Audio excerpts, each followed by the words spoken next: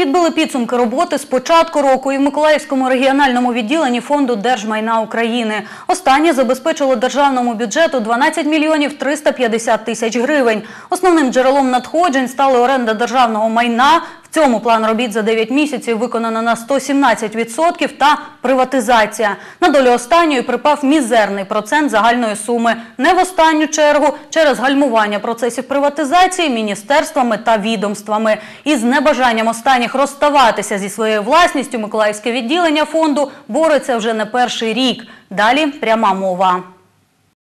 Если по приватизации объектов, большой приватизации, как-то сдвигается немножечко ситуация, и пакеты акций планируется выставлять на продажу, и к концу года их там может, могут они быть подготовлены и, может быть, даже проданы, то, что касается объектов малой приватизации, очень неохотно министерства расстаются со своими объектами, со своими объектами, которые на сегодняшний день даже в управлении, наверное, и не нужны.